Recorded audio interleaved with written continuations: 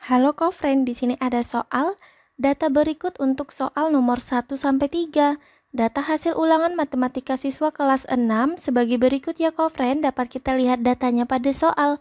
Pertanyaan nomor 1, berdasarkan data tersebut, siswa yang mendapat nilai tertinggi sebanyak titik-titik-titik. Kemudian, nomor 2, banyaknya siswa dan jumlah semua nilai dari data tersebut berturut-turut adalah. Kemudian yang ketiga, Nilai rata-rata pada soal nomor 2 adalah, mari kita kerjakan bersama ya friend. Langkah pertama kita lihat dulu datanya untuk nilai 5. Kita hitung berapa siswa yang mendapatkan nilai 5 ya friend. Yaitu 1, 2, 3, 4. Ada 4 friend. Kemudian nilai 6 ada 1, 2, 3, 4, 5, 6, 7, 8, 9, 10, 11. Ada 11 siswa mendapatkan nilai 6 kok, friend. Kemudian nilai 7, ada 1, 2, 3, 4, 5, 6, 7, 8, 9, 10, 11, 12 siswa. Kemudian nilai 8, 1, 2, 3, 4, 5, 6, 7, 8, 9, 10. Ada 10 siswa kok, friend dan nilai 9 ada 1, 2, dan 3. Maka di sini banyak datanya kita jumlahkan. 4 ditambah 11 sama dengan 15. Kemudian ditambah 12 maka sama dengan 27. Kemudian ditambah 10 sama dengan 37. Dan ditambah 3 maka sama dengan 40 kofren. Jadi di sini untuk nomor 1 banyak siswa dengan nilai tertinggi. Kita lihat nilai tertinggi adalah nilai 9 dan ada tiga siswa yang mendapatkan nilai tersebut kok friend. Maka jawaban kita adalah tiga siswa. Pilihan jawaban yang tepat adalah yang A. Kemudian jumlah seluruh nilai kita lihat dulu. Nilai 5 di sini ada 4 siswa yang mendapatkannya.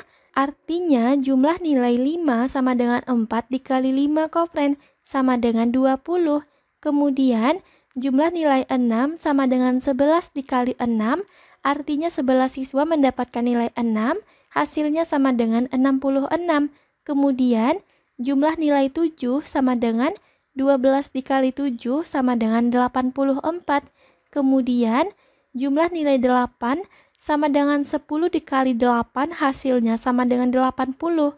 Dan jumlah nilai 9 sama dengan 3 dikali 9 hasilnya sama dengan 27.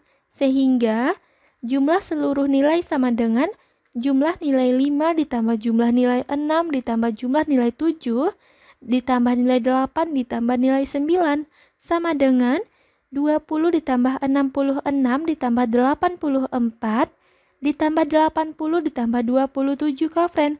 Kita tambahkan dulu dua bilangan dari kiri. 20 ditambah 66 sama dengan 86, kemudian ditambah 84 sama dengan 170, ditambah lagi dengan 80 sama dengan 250, dan ditambah 27 maka sama dengan 277. Jadi secara berturut-turut, banyak siswanya ada 40 dan jumlah semua nilainya adalah 277. Pilihan jawaban yang tepat adalah yang C, kofren. Kemudian kita lihat nomor 3. Yang ditanya adalah nilai rata-rata. Tadi kita dapatkan bahwa banyak datanya 40, jumlah seluruh nilai 277. Rata-rata sama dengan jumlah seluruh data per banyak data. Maka di sini sama dengan 277 per 40. Artinya 277 dibagi 40, hasil baginya sama dengan 6,925. Pilihan jawaban yang tepat adalah yang di kofren. Wah hebat sudah selesai nih kofren. Tetap semangat belajarnya ya kofren. Sampai jumpa di soal selanjutnya.